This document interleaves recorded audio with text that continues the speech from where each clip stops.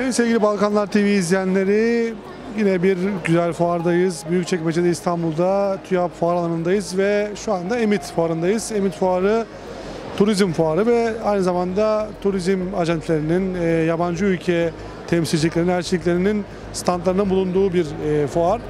E, bu fuara yıllardır katılıyoruz. Bu fuardaki standları, misafirleri, buradaki etkinlikleri sizlere aktarmaya çalışıyoruz. E, bu yılda yine Balkanlar TV izleyenleri için e, fuarımızı ziyaret ediyoruz ve e, Emit Fuarı yaklaşık 31 Ocak'ta başlayıp 3 Şubat'a kadar devam edecek.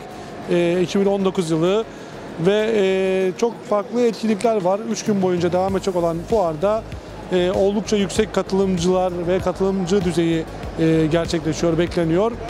Bizler de her yıl olduğu gibi tekrardan bu fuarı sizler için ziyaret ediyoruz ve bu fuarda e, turizm firmaları, yabancı ülke ve aynı zamanda da e, seyahat acentleri ve birçok turizmle ilgili şirketleri sizler için e, tatil organizasyonlarını ziyaret edeceğiz.